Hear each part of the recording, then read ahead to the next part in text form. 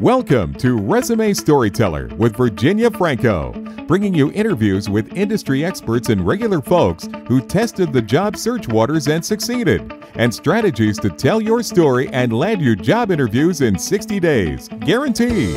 Here's your host, Virginia Franco.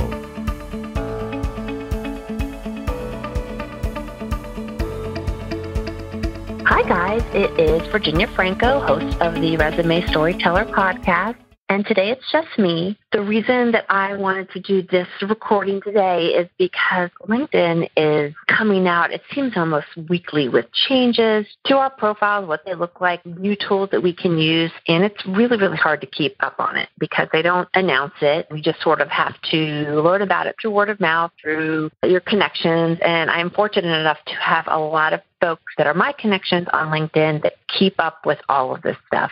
So, what I thought today is I would share with you a handful that I've rolled out in the last couple of months and then walk you through them, how I think you can benefit from them. The last two that I'm going to talk about have not rolled out to everyone and that's what linkedin does. They will launch something but they'll you know roll it out in waves. And so what happens is some of us get it while some of us don't. So it can make it sort of confusing.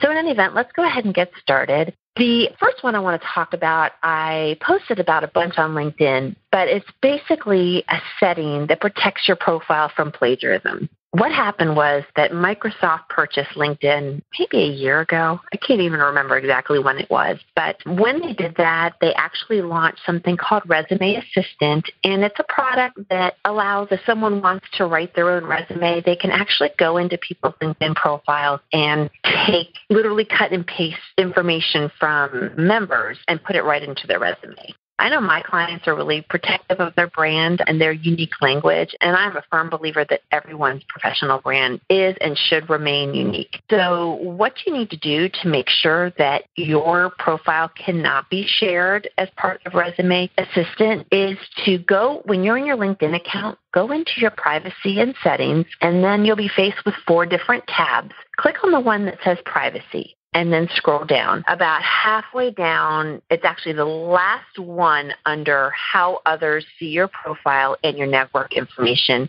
And it says Microsoft Word. And it'll say choose whether work experience descriptions from your LinkedIn profile can be shown in Resume Assistant, a feature within Microsoft Word. I recommend you change that to no. And then while you're at it, go ahead and look through your privacy settings, see if your information is allowed to be shared with third parties. Just, you know, especially with all the stuff that's happened with Facebook lately, I think it's a really good idea to check that out. But the primary way that you can protect your brand is by making sure that your information cannot be plagiarized as part of the Microsoft Word tool Resume Assistant. The next thing I want to talk about should have rolled out by now to everyone. So what has LinkedIn has done is under the skills and endorsement page, it used to be that you just sort of listed them. And now what LinkedIn has done is that it automatically categorizes the keywords in the skills section. We don't really get a choice in what the categories are, but the ones that I've discovered so far are industry knowledge, tools and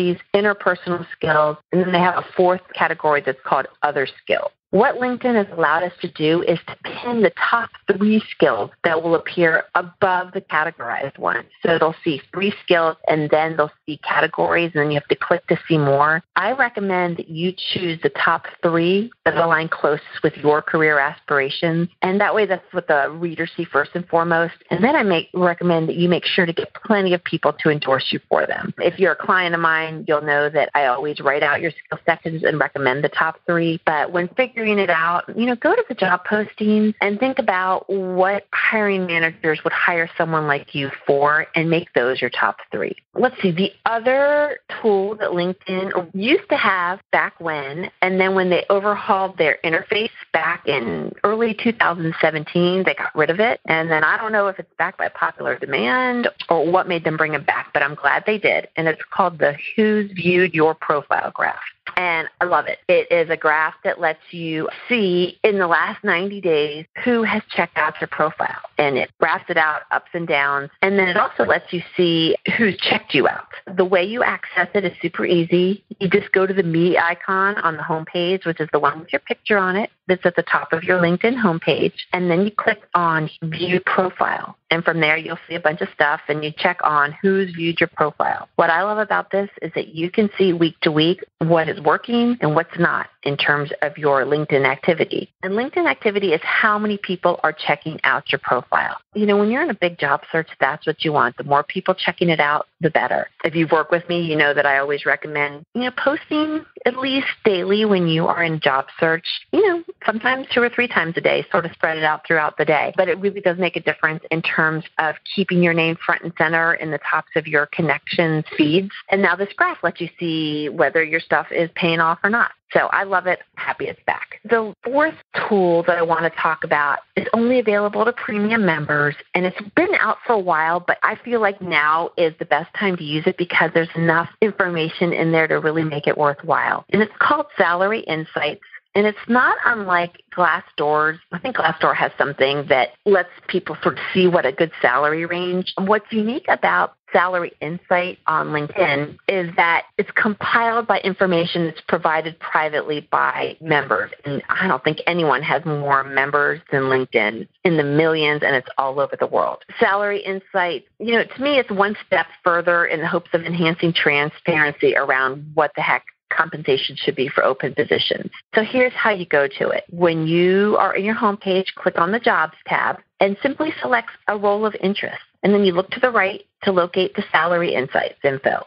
Details shared include base salary, total compensation, and those are actually provided by the employer. So I don't know about any, but most of the companies that are posting on LinkedIn will have this information provided. And then what Salary Insights has done is it's aggregated it. It also includes a high low range for the jobs based on your location. And this is based on data submitted by LinkedIn members. So my advice is that when you are, you know, beginning your job search, or maybe you're getting ready to go for an interview and you want to get a sense for if your salary requirements align with theirs and what your goals are. Use this tool. It's fabulous. And then, you know, there are other tools on the internet. So compare it against those. Go to Glassdoor and I think salary.com is another one and sort of see if the numbers are adding up. And at least you'll have a really clear idea of what is okay to demand in terms of your next role. Okay, so those are four tools that everyone should have now. Now I want to talk about two that LinkedIn launched recently. The first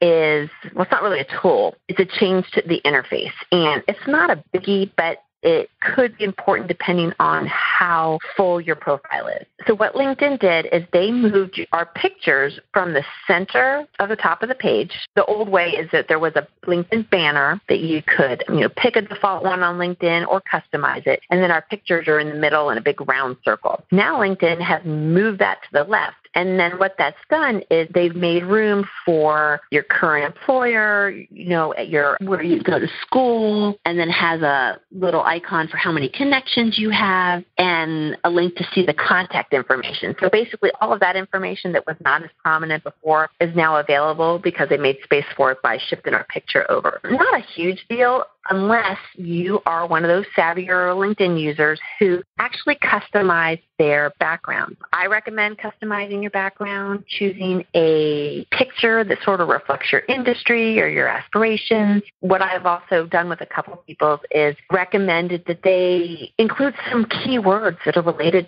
to their industry or their job function and sort of put those in addition to the picture on their banner. I'll talk really briefly in a minute about how you can do that, but if you have already done that and now your picture moved from center to left, some of the information that you put on there might be being blocked by your picture. So you have a customized banner and an image or wording is blocked, you're going to need to go back and redo that so that everything is seen. The problem is, is that right now LinkedIn has not rolled that out to everyone, so we can't see what ours looks like on others people. So I would go ahead and recommend changing it right now, even though you're not going to see the fruits of your labor until you actually have the new interface rolled out to you. In terms of customizing your banner, it really could not be any easier today. There's a fabulous tool out there called Canva. It's C A N, like Nancy, V A dot com, and it is free. And it lets you create pictures for anything Instagram, Facebook, You can make invitations on it. But one of the things that you can choose is a LinkedIn banner. And what it does is it pre-sizes the information for you and then it lets you upload a picture or pick a picture that's already in their site. Some are free, some cost a dollar. You can add text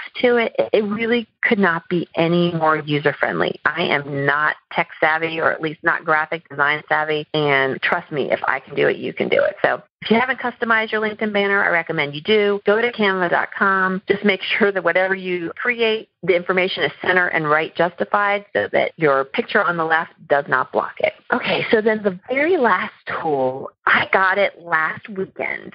So I suspect it's gone pretty far in the rollout, but I am not sure specifically if everyone has it. It's called Find Nearby feature, and it works on our phones. And basically, it lets you network with people that are within a certain radius of you. For some, it might feel a little big brotherish, but where I see it being useful is if, let's say, you're at a conference and you don't know who of your LinkedIn connections are there. You can go to your phone when you're on the app and you go to the bottom, there's a little house picture, and then there's a little picture that says My Network, and it's got two little shadow people on it. You click on that, and in the middle, right next to the number of your connections, it says Find Nearby. And then if you click that on, your location is public, and you can leave it on as much as you want. And anyone else who's taken advantage of that feature, you can find them as well. So you'll be able to find other LinkedIn members that are close by I don't see you using this all the time, but it could be great for meetings, conferences, events, that kind of thing. So that's about it. As you see lots of new stuff going on on LinkedIn, I will continue to blog about this stuff,